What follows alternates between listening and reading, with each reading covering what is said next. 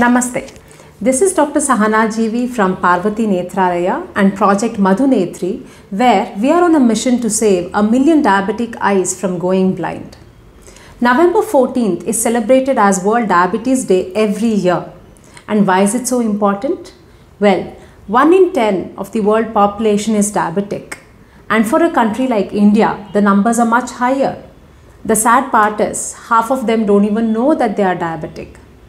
And the prevalence of pre-diabetes, especially in India, is much higher, as high as 1 in 3. So why is it important that we understand diabetes holistically? Well, uh, the theme for this year's World Diabetes Day is Know Your Risk and Know Your Response. The risk can be seen two ways. Well, if you're not a diabetic, are you at risk of di- developing diabetes or are you pre-diabetic? Because either ways, your risk for other complications increases.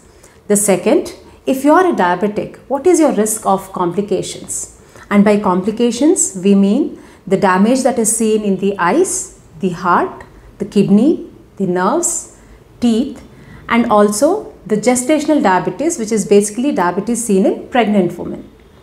So, if you're not a diabetic, there's a link in the description below which you can take, and there's a questionnaire. Answer that to know your risk of diabetes. So, when you're not a diabetic, lifestyle changes are all that is required to make sure your risk of diabetes is low. And if you are a diabetic, uh, under Project Madhunetri, will be coming up with a series of videos involving different specialities to make sure that you decrease your risk of complications. Let us understand diabetes a little better and make sure we are not overpowered by diabetes. The idea of these videos would be to take you from know your risk, know your response to I know my risk and I am empowered to respond effectively. Until then, wish you all a bright and colorful Deepavali. Thank you.